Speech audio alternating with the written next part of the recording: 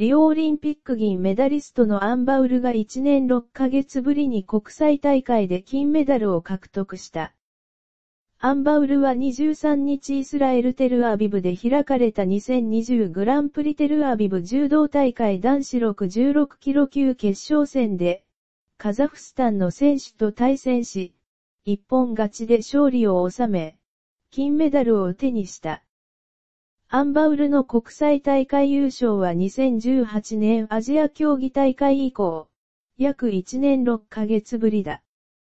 アジア大会金メダル以降、アンバウルは昨年初め、兵役特例奉仕活動書類の捜査疑惑で、大韓柔道大会から資格停止6ヶ月という懲戒を下された。懲戒が解除された後は、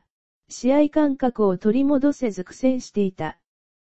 2020年東京五輪出場も厳しい状況だったが、今大会の優勝で再び五輪出場への希望をつないだ。